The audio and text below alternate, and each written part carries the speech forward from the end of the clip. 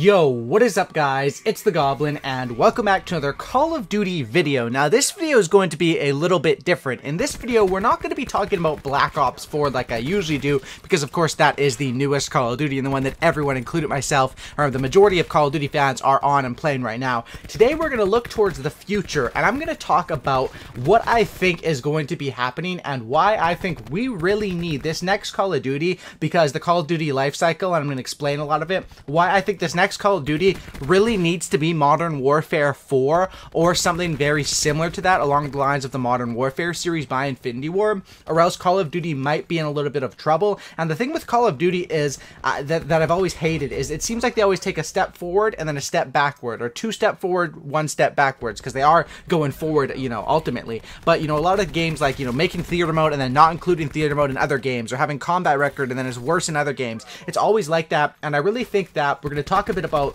how I can see the, the, the, trajectory of Call of Duty going and why I think the next year's COD, which will be announced probably in a couple months now, so this is prime time to talk about it, should be Modern Warfare 4 and why I hope it is something to do with Modern Warfare 4. Now, there is some evidence to back this up, but mainly just leaks and teasers and just things you have to infer from. For example, the CEO saying that they have the best three year life cycle coming up in this franchise, which of course would be starting with Black Ops 4, means their next one has to be a banger, which could possibly be Modern Warfare 4. Also, the fact that they have multiple game universes they love to tap in on could allude to the Modern Warfare and the Black Ops series. He could be talking about something else there. And then there was also this, which is allegedly this post is an Infinity Ward, uh, a person that is official at Infinity Ward replying to a post about uh, Modern Warfare 4. I'm not sure how legitimate this is or if this means anything. Of course, they love to do little teasers like this and get the hype up. But of course, there's more signs pointing towards Modern Warfare 4, and I'm going to talk about all that in this video. Drop a like on this video, guys. I'd really, really appreciate it. This is going to be, you know, a late night video, just me talking, getting my feelings out, and I talking about something that I'm passionate about, which the two best series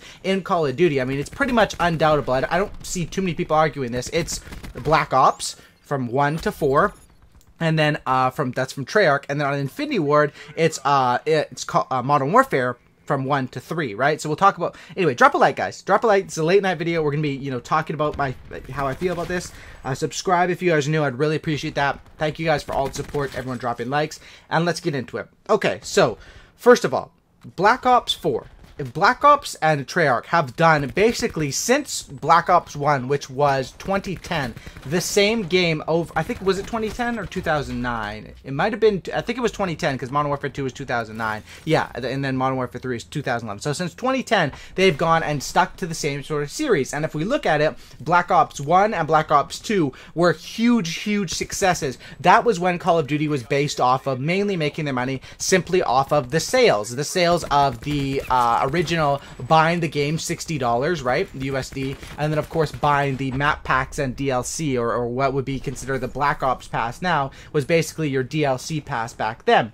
And then Black Ops 3, they sort of built off of supply drops, which was, I don't know who officially came up with supply drops, but with Activision, uh, and that was implemented in Advanced Warfare, which was a Sledgehammer game. I'm trying to make sure I get all my facts right here. I'm spitting this off the top of my dome freestyle. Um, so basically, that was um, where supply drops are invented, right? And then Black Ops 3 I th- I honestly think Black Ops 3 has to be the most the, the game that's made them the most money, not off of the sales, although it sold great, it didn't outsell some of the older CODs, but you got to combine the sales with the DLC system and the supply drop system that they had in that game and the popularity of that game. I would be very shocked if any other Call of Duty, I mean maybe Black Ops 4 might surpass it, but as of right now, I think Black Ops 3, if we're totaling in everything, would be their highest earning game just because of that. And then of course, they followed up with Black Ops 4, and so far, we're two months in, it looks like it's a huge success. Sold big numbers, they're have they're going to be selling cosmetics and stuff in the game. They uh, branched out with Blackout and took sort of a step back for campaign fans, which which sucks. But they sort of changed up their business approach there and for something that's a little more trendy with the battle royale, and of course going with the Blackout. So that's what we have as far as uh, Treyarch and why Black Ops made Black Ops 4 because it's a sure success. Using that name over and and over and over gives, you know, people want to check out Black Ops 4 if they liked any of the previous three Black Ops. Now, if we look at what Infinity Ward did, Modern Warfare 1, 2, and 3 were huge successes. You know, controver- they're more controversial because a lot of people didn't like, the- there's more BS in those games. Um, but personally, I love, like, Modern Warfare 3 is probably my favorite COD ever, uh, just because that was the one where I really, like, got into the YouTube scene. I was just loving everything about it. Uh, I was playing that game, like, nonstop, going for triple Moabs, double Moab, double Moab, triple Moab, stuff like that. Um, but basically, Infinity Ward, they went and made COD Ghosts, which wasn't a huge success, and then once again they had another another shot and they went with Infinite Warfare because that was when Call of Duty did that. I guess some people would call it a mistake, but doing the the advanced cycle, which was the Advanced Warfare, Black Ops 3, Infinite Warfare, which is three years of advanced movement because of course these games are made in advance. So now that I've I know I'm sort of talking about history, that's where Infinity Ward went wrong. And Infinity Ward, which used to be it used to be Infinity Ward and Treyarch and Activision, and that was basically it. Those two were very, very close. Then they add in Sledgehammer Games, which has dropped AW and World War II. So people are questionable about Sledgehammer Games, and if, if the, the cycle is continuing, which we assume it is, which the life cycle goes um, Treyarch's Call of Duty, uh, Black Ops 3, and then it goes Sledge, and then it goes Infinity Ward, Infinite Warfare, then it goes Sledgehammer, World War II, and then it goes back to Treyarch. It's a rotating cycle, right? So back to Treyarch right now, Black Ops 4. If it continues on this cycle, which it has for the last whatever six or seven years, next Call of Duty should be Infinity Ward. And what can they do? Can they do Call of Duty Ghost 2? Probably not. That's probably not going to sell as much or make as much money. And I enjoyed Ghost, but I'm just I'm not talking about a personal opinion. I'm talking about how well the game how it was received by like overall. So they can't really do that.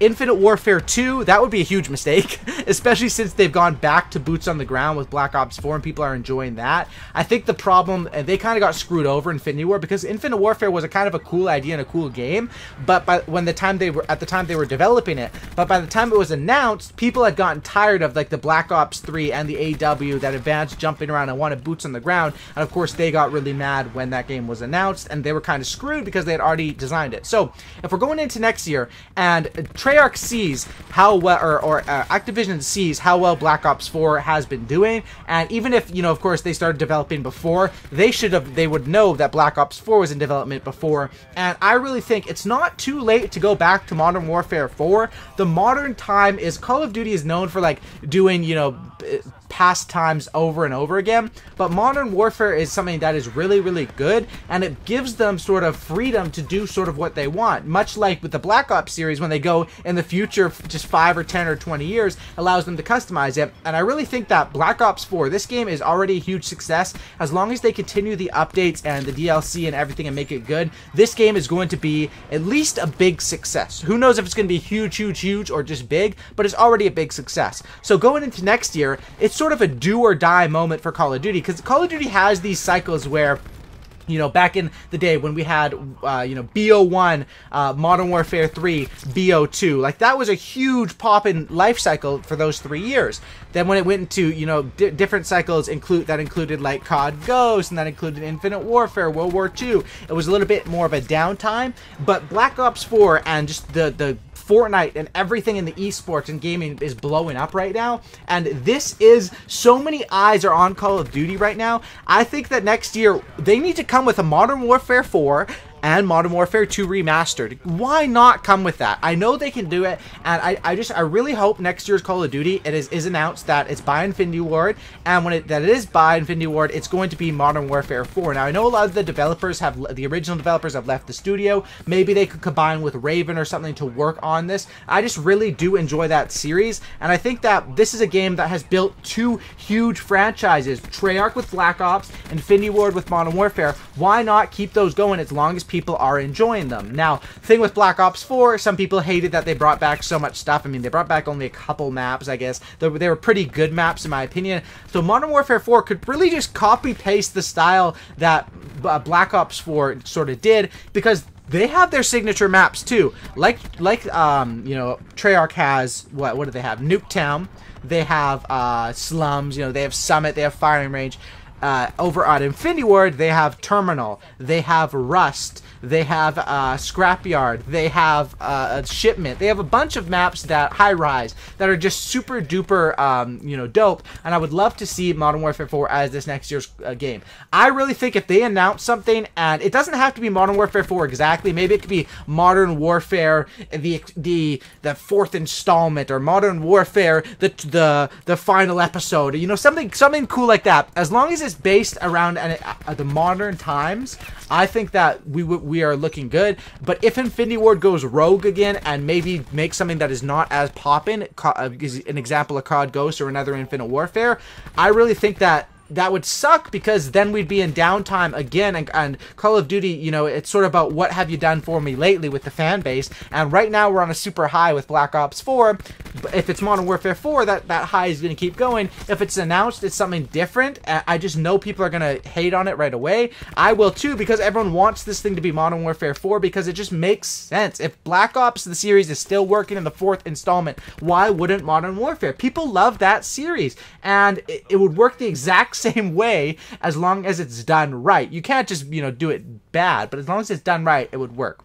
Hopefully you guys did enjoy this video. If you guys could smash the like and thing, I would very, very much appreciate it. That's just my thoughts. I really think that if next year's game isn't Modern Warfare and it's something that's not as popular, and then we go into Sledgehammer Cycle next, we it would be kind of scary, you know, going into Sledgehammer Cycle. However, if we came off Black Ops 4 and Modern Warfare 4, so much momentum would be going forward that I'm sure Activision would do the right thing and make sure that you know, they, they stay on this high level. So far, Black Ops 4, I'm loving the game, and I really think that you know they, they have a formula that that's that's working and i would love to see modern warfare 4 or some sort of modern warfare game come out next year from infinity ward and uh, activision. Thanks for watching guys. Drop a like. Let me know your thoughts down in the comment section down below. Uh, i know a lot of people you know prefer Black Ops series over Modern Warfare. Some people prefer Modern Warfare over Black Ops. But I think we can all agree that we would like to have both of these at our disposal. And playing both of these would be good. And then maybe it wouldn't be, you know, I can see that if the next game isn't good or the next two games aren't good, I can already see people playing Black Ops 4 for the next couple of years, like a lot of people did with Black Ops 3, and I don't want that to happen. I like Call of Duty when there's a new good game every single year that everyone can enjoy, and that's what I want to happen. So th that's my sort of argument why I think it should be Modern Warfare 4, why I think it will be, and why I think it would be a success for everyone, as long as it's done right. The fans um, the uh, developers, of course, and the people making the money over at Activision because this is going to bring people to the game off the Modern Warfare, and then of course they're going to do their DLC thing and sell that and and whatever do whatever they want with that. So thanks for watching, guys. Drop a like, and Modern Warfare 2 Remastered also I think could be a possibility, but as long as there's just something something nice that gets the hype up, I'm cool with it. Drop a like, guys, if you guys could. Subscribe if you guys are new. Uh, let me know your thoughts. Let me know what you guys want to see uh, next year as the game. I know it's kind of early to talk about this, but it will get announced in like three or four months. So why not start, you know, start the, the, the, the talks and get the idea out there and get my opinion out there because it seems like a lot of the time things that I say sort of come true. Um, I don't know if this will be Modern Warfare 4 or if it'll be a completely random game. This is just my thoughts and opinions, so, you know, I don't have any insider knowledge or anything. Thanks for watching, guys. Drop a like, subscribe, and I'll see you in the next one, and I'm out. Peace.